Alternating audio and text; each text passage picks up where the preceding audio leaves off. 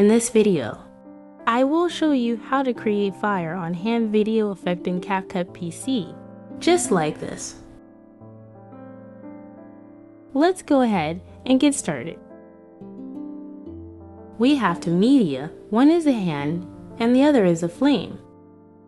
Now let's drag and drop our media onto the timeline.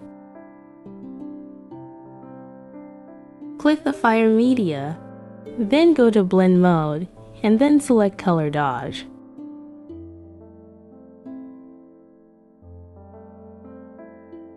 Now position fire on hand dot you can make it bigger or smaller.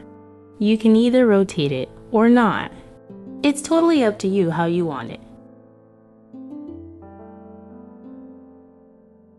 Now let me play the video and show you what we have. If you found this video helpful, please give it a thumbs up, share it, and subscribe to our channel for more tutorials.